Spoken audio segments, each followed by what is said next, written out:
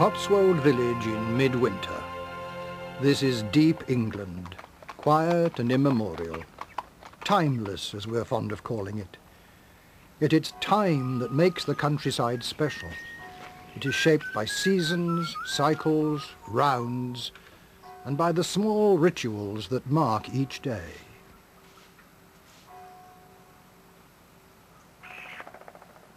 The endless cycles of winter and summer, day and night, are part of the common ground between ourselves and nature. They give a rhythm to the year and a promise that there will always be new beginnings after the cold and the dark.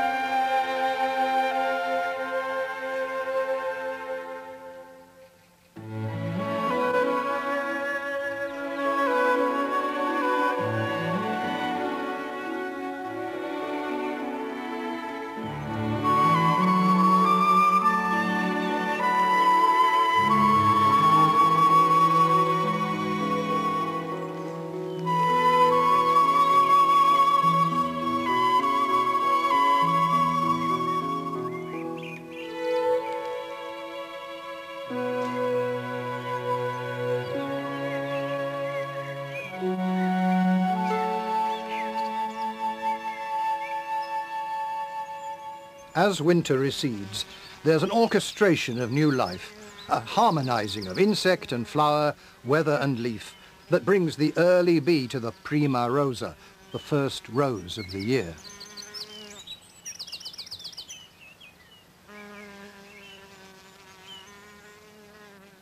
This film reveals a year in the life of the Cotswold countryside. It follows the restless rhythms of the seasons, of the months, of the days. Time passes, the landscape changes, and so does the behavior of people and plants, animals and the weather.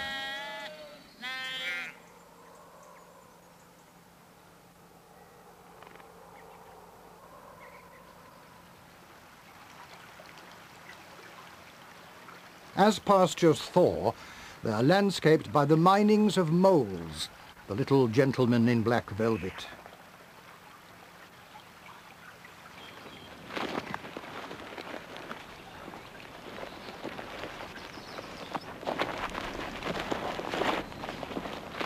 For little gentlemen, they're prodigious diggers. Each is capable of excavating 130 times its own length of underground passage every day and early in the year it's the males that build most of the hills while tunnelling to find a mate.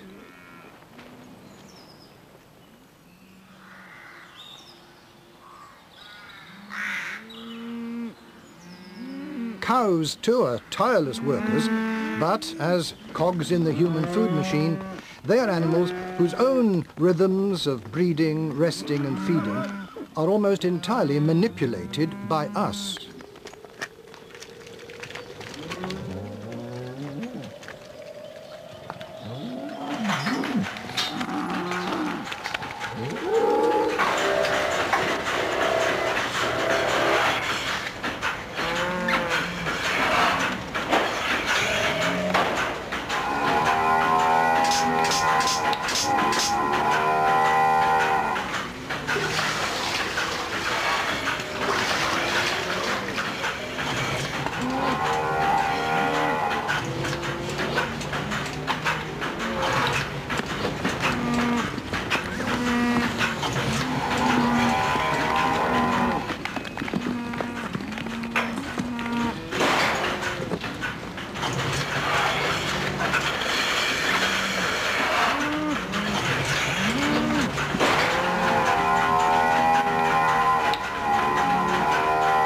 In Britain, Nearly three million cows and their farmers go through this ritual twice each day, and the next day, and the day after that.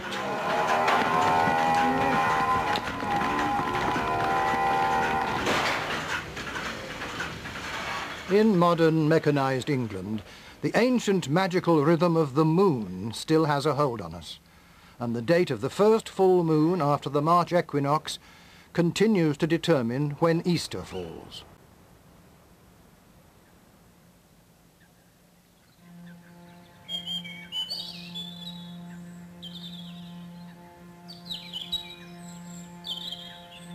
But it is the sun that drives all living things. By March, it's rising roughly two minutes earlier each morning. The increasing day length and the rising temperatures trigger the breeding cycles of animals and birds, the bursting of blossom and unfurling of leaves. Spring is on its way.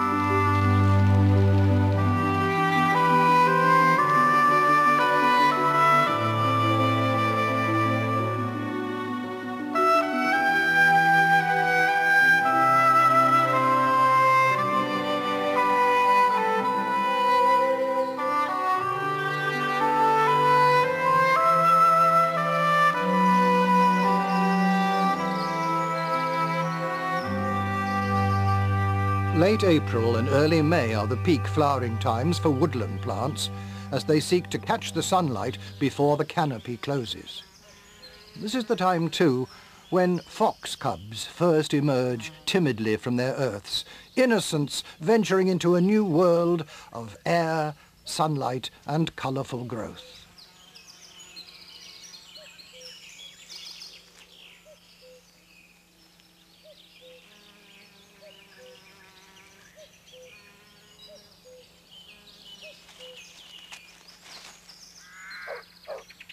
Swallows have flown 6,000 miles from Africa to nest here, so their exact arrival is unpredictable. But they've always been welcome signs of the summer to come. 250 years ago, the naturalist Gilbert White noted that they usually arrived on or about the 13th of April, and he celebrated the way that they amuse us with their migrations, songs, and wonderful agility.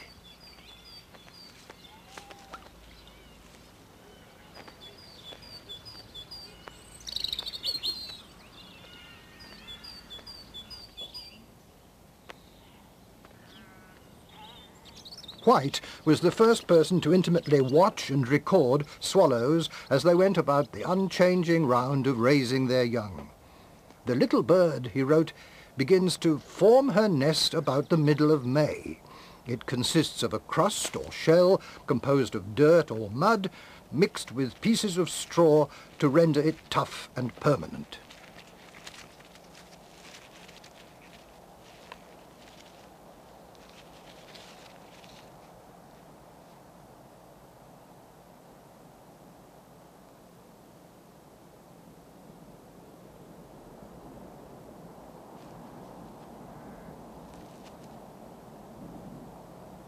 Swallows incubate their eggs for about a fortnight, and once the young are hatched, the parent birds are thrown into a new frenzy of activity.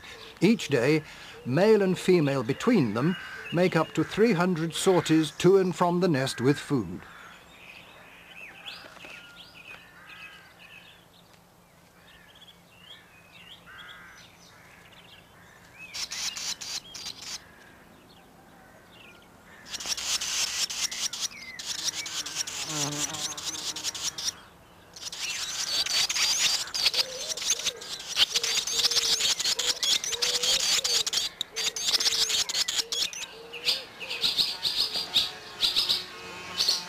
Three weeks later, the young are ready to fly.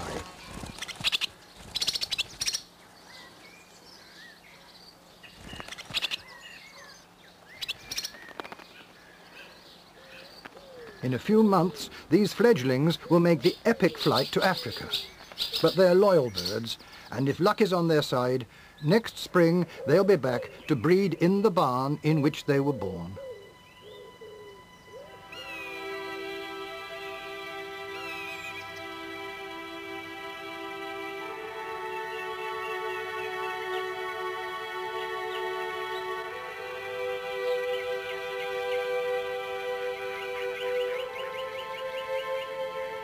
Midsummer. The days are long and the nights last barely five hours.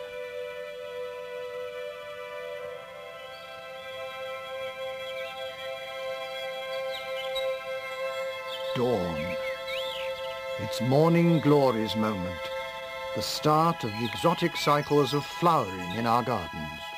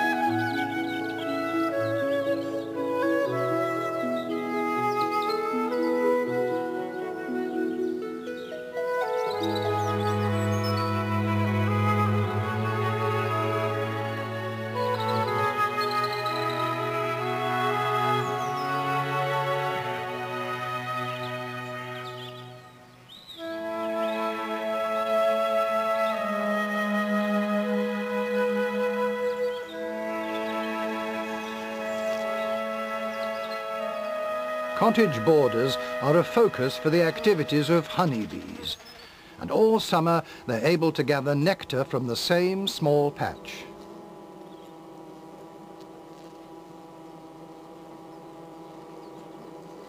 On a warm summer's day, a hive can add 10 pounds of honey to its stockpile, but the bulk of this is consumed by the bees themselves and by their larvae growing slowly in their honeycombs.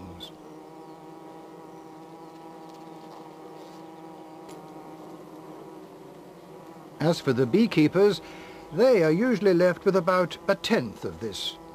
A tithe, in fact, and perhaps no more than is due, given the work of pollination that bees undertake for us.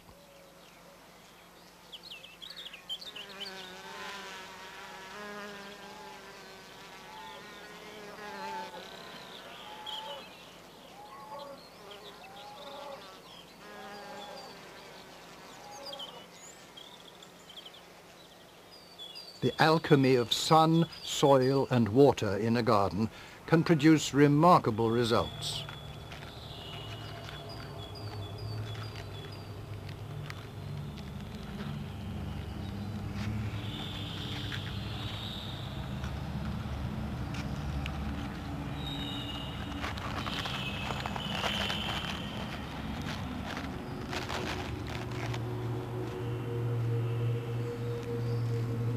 Unshaded by competitors, the marrow's flowers and leaves respond directly to the rise and fall of the sun as if they were breathing light.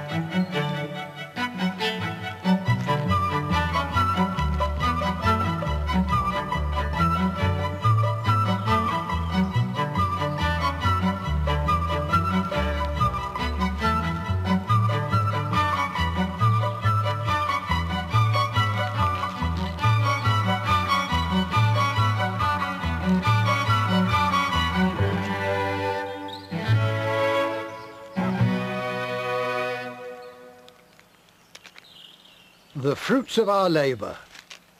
A garden harvest is more abundant and more perfectly synchronized than anything in nature.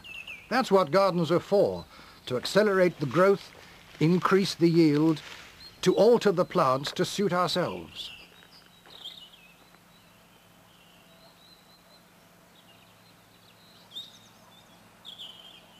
Yet gardens can't opt out of nature's cycles completely.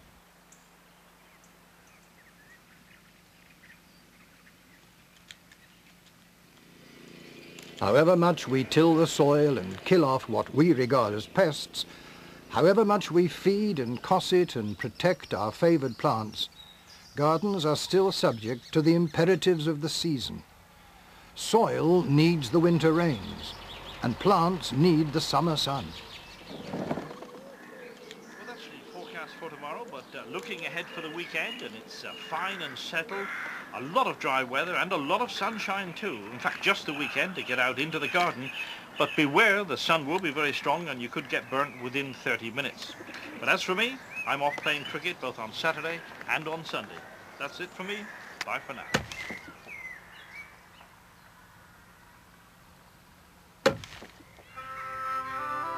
Perhaps it's no wonder that cricket, with its intricate rhythms played out on grass under the sunshine, is the quintessential game of the English summer.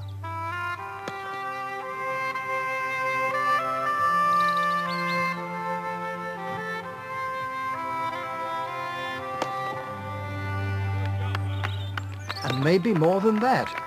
Have we, without realizing it, invented an elaborate metaphor for the whole cycle of summer growth?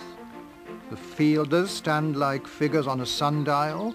There are cycles of overs and innings. Batsmen are in and then out. Balls rain down on them and are turned into a harvest of runs.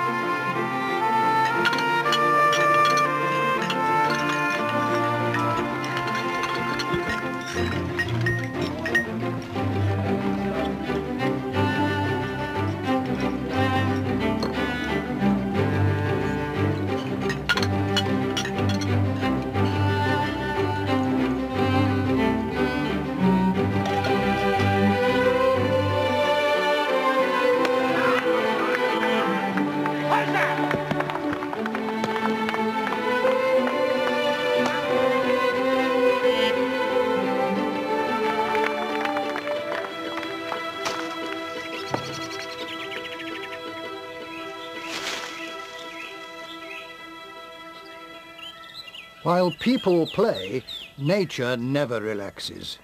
Tiny teeth are nibbling at the gardener's treasured growth.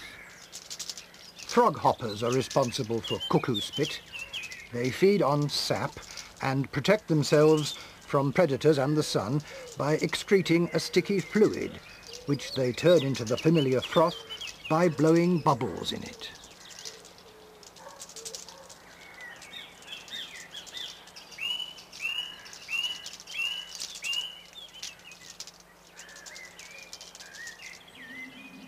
Aphids are also efficient sapsuckers and awesomely prolific too, so they're amongst the most loathed of all garden insects. The females can give birth without mating. In one year, with unlimited food and no predators, a single mother could give rise to a mass of descendants more than three times the weight of the Earth's entire human population.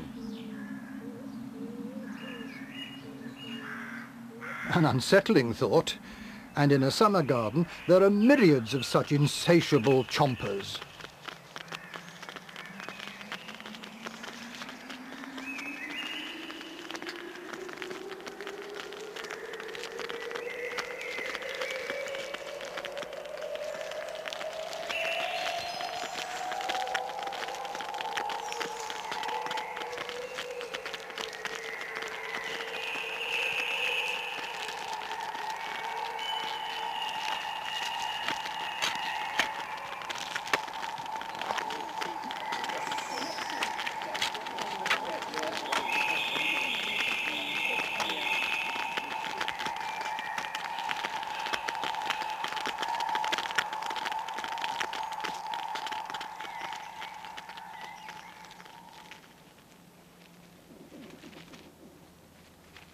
Under cover of darkness, the rhythms of nature continue.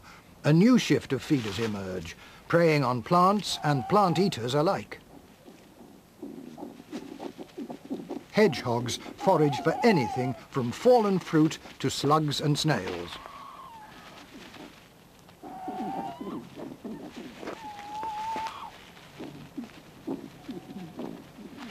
Snails are strictly vegetarian. They're very susceptible to moisture loss and so leave the clammy cover of an old wall only when the humidity rises after dark.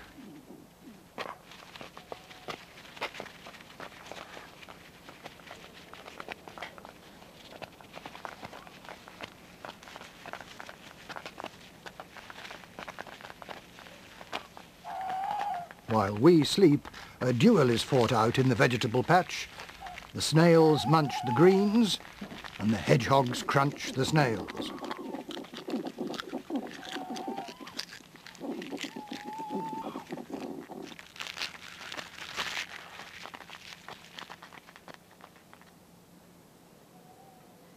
Spiders catch and eat flying insects, and well before dawn they prepare their webs in order to snare an early morning meal.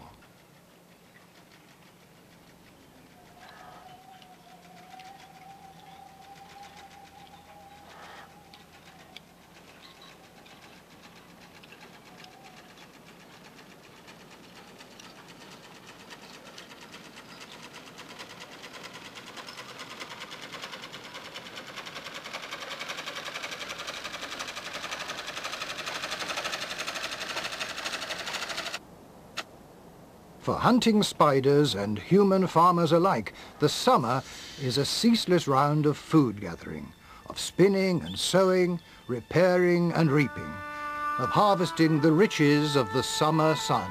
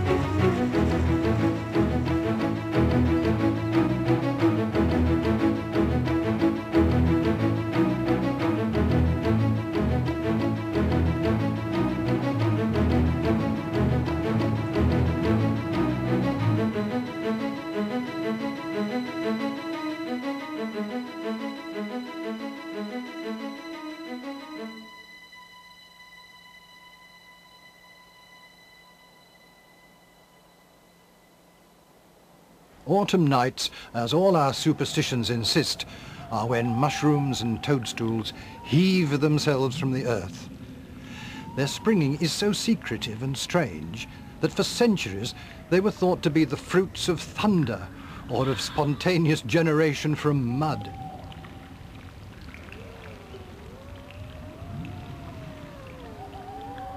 The broth of spores that drips from the ink cap provided not just its name, but also real ink well into the 18th century. Its purpose for the fungus is to provide an effective means of conveying spores into the ground.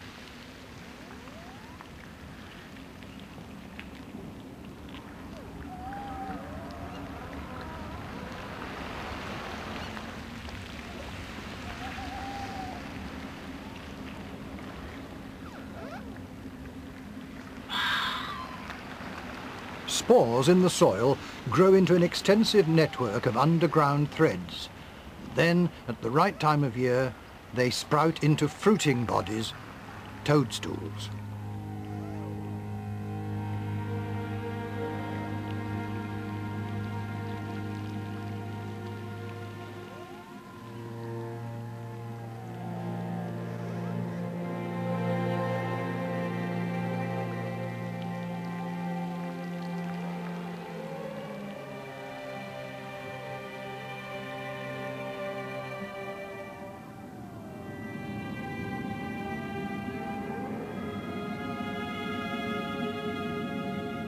Although we now understand how toadstools grow, many of them still have a magical aura. The fly agaric especially has always been associated with goblins and witches, perhaps because it was often used as an hallucinogenic drug.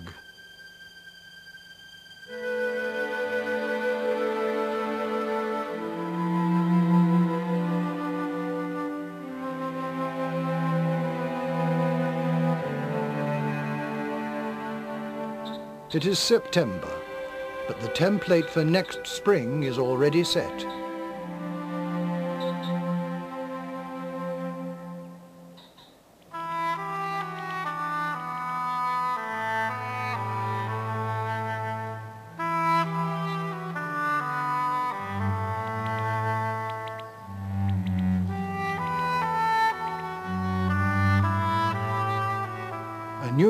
Generation of plants are packaged as seeds and launched onto the wind.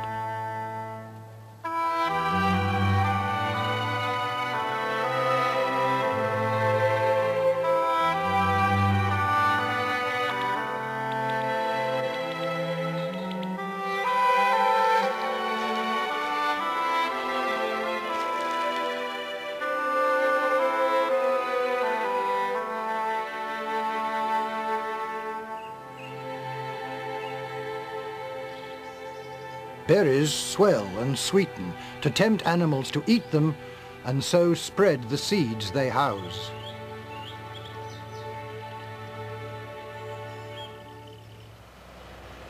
The autumn cycles of farming have the same aim, but a very different style. The routines of ploughing and sowing are fast and purposeful, leaving little to chance.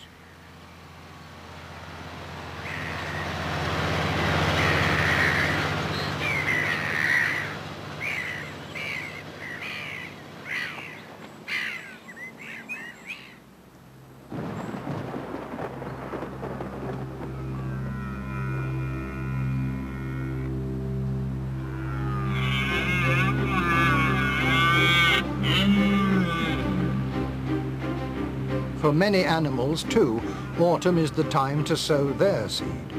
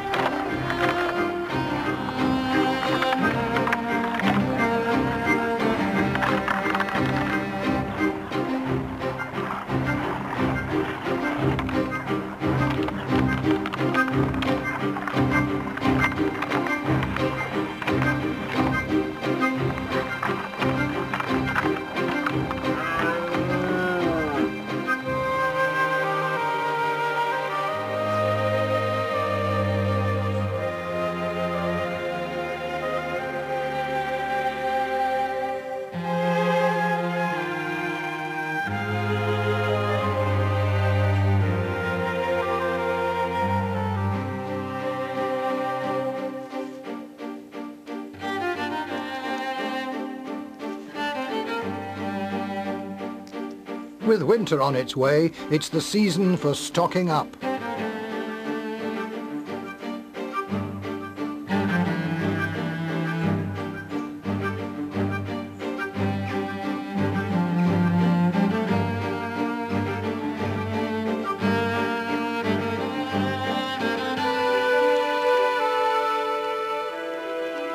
Is it any more than coincidence and good fortune that at just this time of year the countryside is bursting with potential food? The hedgerows are heavy with fruit.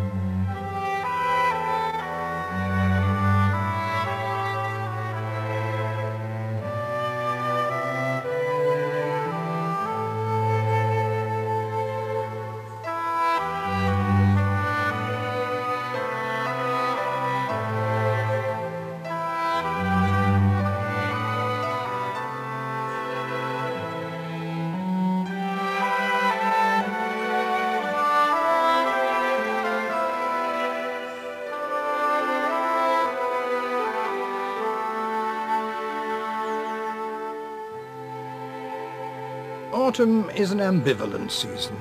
It is, for many living things, a time for switching off, discarding excess baggage, battening down the hatches. For us humans, too, it's the time for taking stock and tidying up.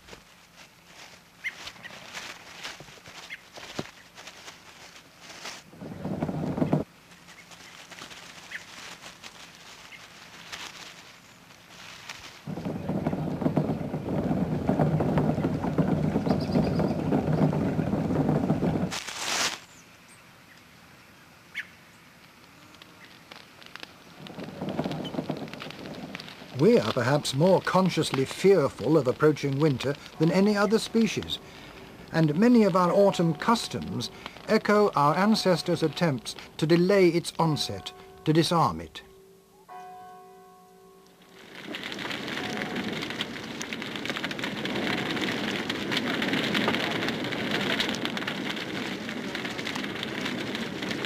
Bonfire Night is the only non-Christian celebration that's fixed in our calendar. It commemorates the failed attempt by Guy Fawkes to blow up the Houses of Parliament in November 1605. But it's also close to the ancient Celtic feast of Samhain, Halloween as we now call it, which marked the night when winter and the new year began together. Ritual fires were lit to defeat the power of evil. And today, Bonfire Night still gives us a chance to shake a fist at the cold and the dark.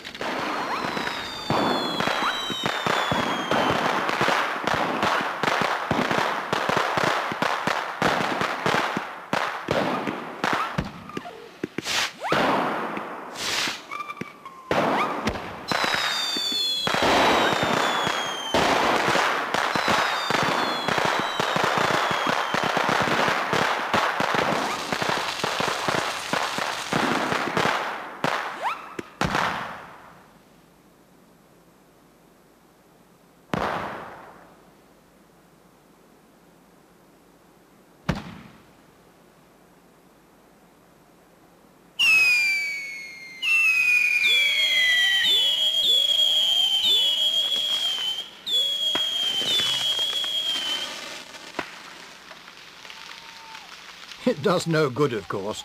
Winter still marches on remorselessly. Tonight the temperature could well get down to minus four degrees, so the first real cold snap of the winter. And the weather warning tonight, some fog, but the main warning, icy stretches on many roads. While we sleep, the world outside freezes over.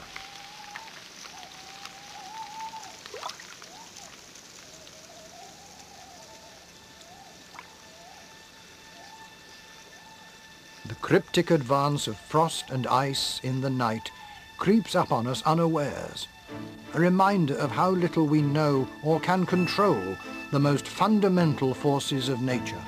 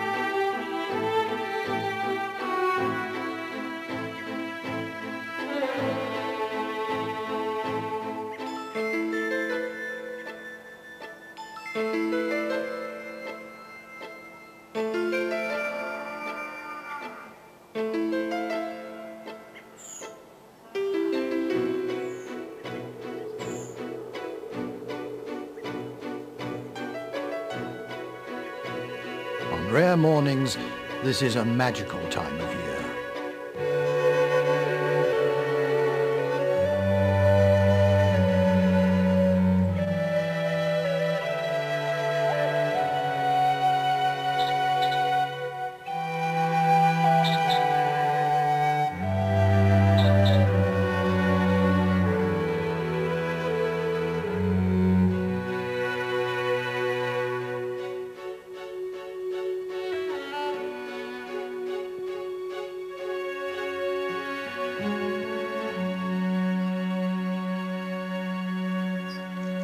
Winter is here for real, and it's time to pay our dues.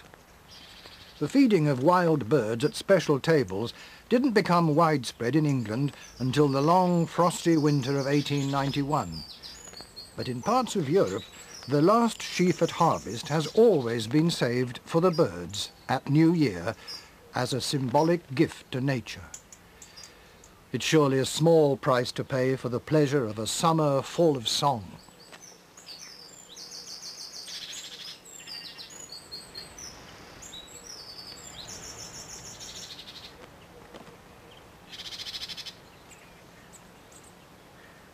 This is a bitter, edgy time, a matter of life and death for many creatures.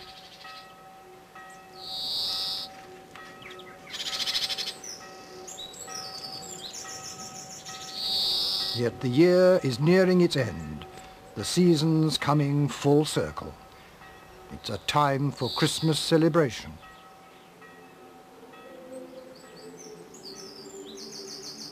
And as surely as the sun rises each day, the turning year always brings the promise of hope and fresh life, even in the very bleakest of midwinters.